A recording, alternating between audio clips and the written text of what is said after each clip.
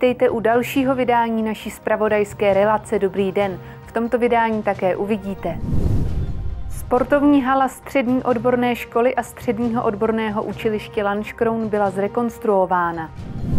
Vánoce se blíží a proto se na rybníku Hvězda konal tradiční výlov a prodej kaprů. Česká Třebová se na jeden den stala mekou zejména plastikových modelářů. Přednedávnem jsme vás informovali o otevření částečně zrekonstruované tělocvičny Střední školy umělecko-průmyslové Ústí nad Orlicí. Modernizace se však dočkala i sportovní hala Střední odborné školy a Středního odborného učiliště Lanškroun.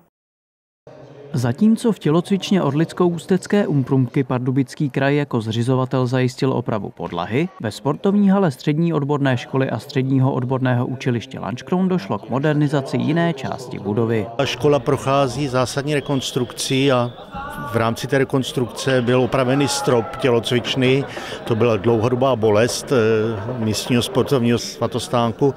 Ten se teďka dočkal nové, nového protinárazového a protihlukového stropu. Upravená tělocvična byla uvedena do provozu florbalovým turnajem, kterého se zúčastnila mužstva domácího vzdělávacího ústavu, Střední školy zemědělské a veterinární Lančkroun, Gymnázia Lančkroun a Středního odborného učiliště Králíky. Hráči tak měli možnost otestovat, na co byly vynaloženy finanční prostředky. Jedná se o investici z krajských zdrojů a celková výška té investice je v tuto chvíli asi 6 milionů korun. Mimo florbalu se v hale hraje zejména volejbal. Zástupce Lančkronského oddílu potěšilo, že v rámci rekonstrukce došlo ke zvýšení stropu. Ta výška stropu už je naprosto regulérní pro ty ligové soutěže, co hrajeme, takže to je obrovský plus pro nás a, a tím, že máme mnoho družstev v soutěžích, tak v podstatě víceméně 90% využíváme pro Lančkronský volejbal. Já bych chtěl za město Lančkron poděkovat Pardubickému kraji, že investice, letos už druhá investice směřuje přímo do Lančkrouna. To, že jde o sportovce, o to jsme ještě raději, protože sportovci si to zaslouží a věřím tomu, že si eh, novou halu nebo se zvýšeným stropem užijí. Nezbývá než žákům školy a dalším sportovcům popřát a tím tělocvična slouží co možná nejlépe. Každé úterý a pátek v premiéře od 18 hodin a poté v repríze každou další hodinu k vám má spravodajská relace zprávy regionu nejblíž. Sledujte OIK TV a budete vždy vědět, co se děje kolem vás. Vánoce se blíží a nedílnou součástí těchto svátků bývá kapr. Abyste si tuto pochoutku mohli dopřát ke štědrovečerní večeři, musí nejprve proběhnout výlov rybníků. Jeden takový jsme s kamerou navštívili. Na rybníku Hvězda, který má rozlohu 79 hektarů, se konal dvoudenní výlov. Ten má své určité fáze, které se musí dodržovat, aby byl výlov úspěšný. Na rybníce se loví klasickým způsobem, to znamená, že zatahujeme nevodem, po přitažení nevodu probíhá přebírka nebo brakování ryb a následně nakládka ryb na dopravní prostředky. Při přebírání ryb si nelze nevšimnout, že nejčastějším druhem ryb, které jsou z rybníku vyloveny, jsou kapři. Výlov už se dlouhodobě pohybuje kolem 600 metráků tržního kapra. Ve hvězdě se ale nacházejí i další druhy ryb. Máme tady amory, toustorobiky, štiky, candáty, cejny a celou řadu dalších. Eh, mnohdy i neplevelných druhů ryb. Lidé, kteří se přišli na výlov podívat, měli možnost zakoupit kapra za zvýhodněnou cenu. Ta byla 88 korun za kilo u 3,5 až 4 kilového kapra. Chci si koupit kapra a amura. Kapra, amura jako a nemá to chybu, je to čerstvý. Amura, kapříka, čekat teď donesou. Ryby bude možné zakoupit i v obchodech, ale nejdříve jejich cesta povede na sádky. Tam vlastně ta ryba před těma Vánoci musí být růzobra tak měsíc a půl, kde vlastně ona se jako vysádkuje, to znamená se trošičku vyčistí, vlastně o to zbytku, co má v trávicím traktu a potom jde vlastně na ten trh z těch sádek. Výlov rybníků nemusí být vždy úspěšný, jelikož množství ryb závisí na různých faktorech. V tom vegetačním období je potřeba, aby byla stabilní teplota, aby byly spíš teploty vyšší, aby se voda prohřála, aby byly ryby aktivní, aby nebyly velké průtoky, aby se tím pádem neměnila kvalita a vlastnosti vody. Pokud byste chtěli pořídit kapra za zvýhodněnou cenu, zcela jistě se vyplatí podniknout cestu na nějaký další výlov, nebo si pak počkat na předvánoční prodeje, kde by měla být cena za kilo kapra o 10 až 20 dražší, záleží na daném obchodníkovi. Česká Třebová byla jedním z míst, kde si 11. listopadu připomněli Den válečných veteránů. Během něho proběhlo uctění památky nejen padlých hrdinů, kteří bojovali za svou vlast.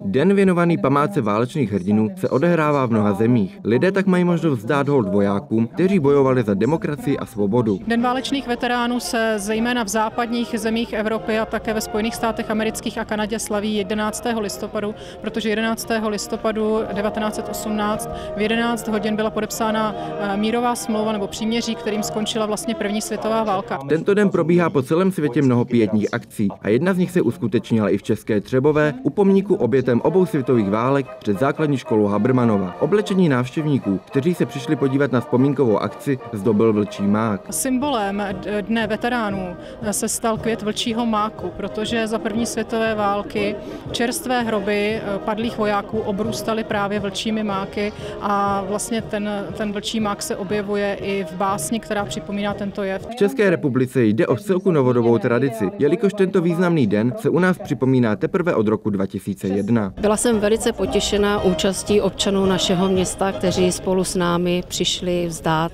hold a uctít památku všech válečných veteránů, ale samozřejmě taky všech, kteří za naši svobodu kdy bojovali. Válečné veterány z první světové války už asi bohužel nepotkáme, ale stále máme možnost v dnešní době potkat významné osoby druhé světové války. Máme eh, dokonce dva válečné veterány i v našem městě, paní Boženku Ivanovou a pana Vasila Timkoviče, eh, se kterými jsme se nedávno setkali a bylo to velice příjemné setkání. Tyto významné dny je důležité si připomínat, jelikož i generace, která žádný válečný konflikt nezažila, by na takto klíčové momenty neměla zapomenout.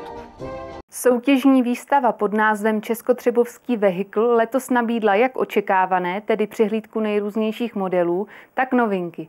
Jednou z nich byla změna místa konání. I přesto si akci našli zástupy návštěvníků.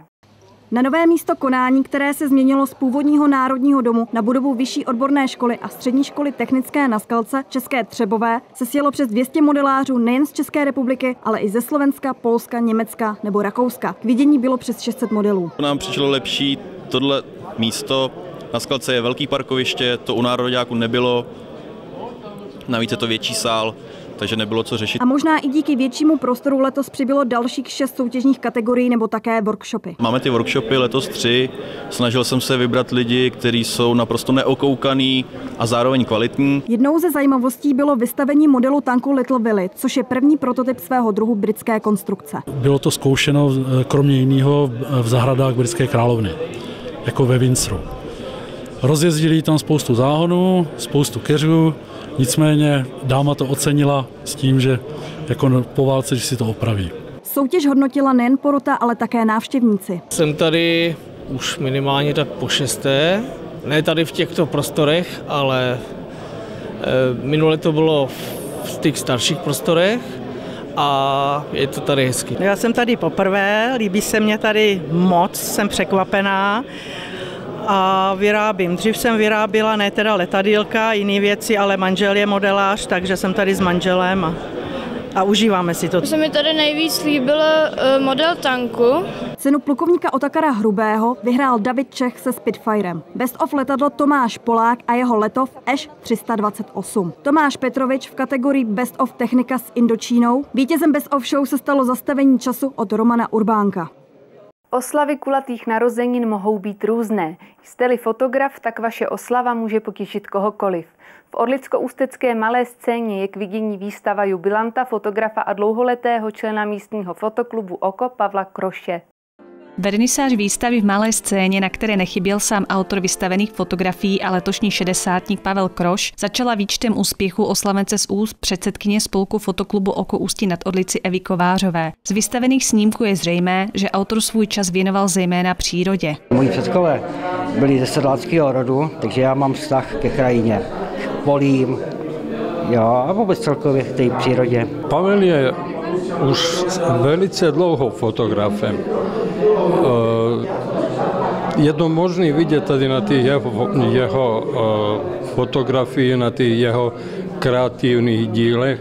A když se jenom podíváte na tou kompozici, ta kompozice je skoro podle pravidel starých mistrů. Pavel Kroš začal s fotografováním ve svých 18 letech. V té době se jezdilo čundrovat, že jo, takže vlastně spoťák sebou a jezdili jsme to i jako na ryby, protože jsem rybář, jo, tak po rybářských výpravách. Autor je dlouholetým členem fotoklubu, kterému dokonce na jeden čas poskytl i útočiště u sebe doma. Je to velice eh, důstojný člověk, velice milý člověk, pracovitý, ochotný každému pomoct a, a umělec, dovolím si být tak drzej a nazvat ho umělcem, a musí být právě takový. Jeho prvním aparátem byl dnes již historický flexaret, který fotil na negativní film. Je složitá věc poměrně, protože se musí všechno umět to. Jo, v tom fotoaparátu prostě se musí všechno nastavit, expozice, všechno prostě. Ale ten, ten dirikál, to je jednoduchá věc, dneska kdokoliv fotí. Výstava Výběr z tvorby 2019, kde mimo fotografii krajiny můžete spatřit také portrétní fotografie, potrvá v malé scéně do pátku 29. listopadu. Svatý Martin dorazil i do České Třebové. S jeho příjezdem proběhl lampionový průvod, do kterého se zapojili jak malí, tak velcí. Po západu slunce se park Javorka začal plnit těmi, kteří se přišli podívat na příjezd svatého Martina. Před pódiem se to hemžilo mnoha světýlky, jelikož děti si sebou přinesly lampiony. Když se světec objevil na pódiu, všechny přítomné přivítal a řekl jim svůj krátký příběh. Poté všechny vyzval, aby se k němu připojili a následovali ho. Tím začal svatomartinský lampionový průvod po cestičkách parku. Po něm čekalo překvapení. Své ohnivé umění předvedla místní skupina Tartas. V Roškotově divadle si na své mohli přijít milovníci dechové hudby. Orchestr, který se v názvu odvolává na své domovské město Ústí nad Orlicí, publiku nabídl další z řady koncertů. Do hlediště Roškotova divadla zamířili ti, kteří si nechtěli nechat ujít tradiční podzimní koncert dechového orchestru města Ústí nad Orlicí. Těleso složené z téměř čtyř desítek hudebníků, zejména z našeho regionu, publiku nabídlo 14 děl českých i světových autorů. Pod vedením dirigenta Jiřího Tomáška, jenče zároveň ředitelem základní umělecké školy Jaroslava Kociana, která vychovala a stále dodává řadu členů orchestru, zazněly skladby instrumentální a to včetně solových výstupů. K programu večera však přispěli i zpěváci.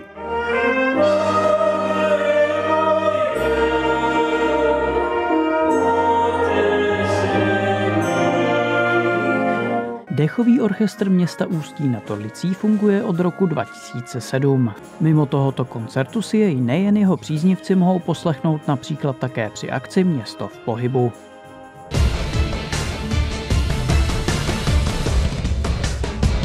A je tu sport. Městská hokejová liga postoupila v České Třebové do své druhé částky. V jednom z duelů třetí ligy se proti sobě postavili celky HC LDM a HC Papos.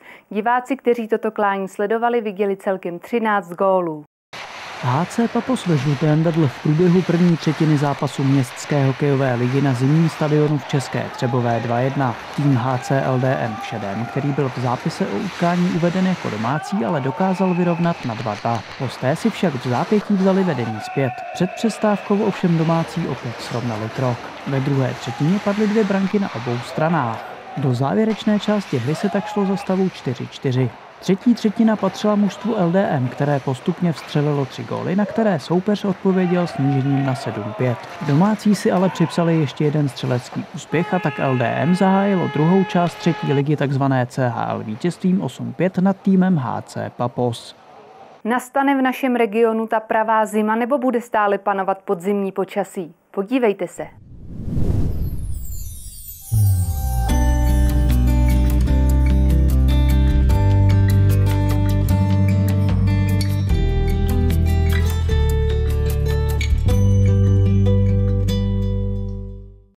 Tohoto vydání naší spravodajské relace to bylo vše. Loučím se s vámi a nezapomeňte, v úterý jsme tu opět. Naschledanou.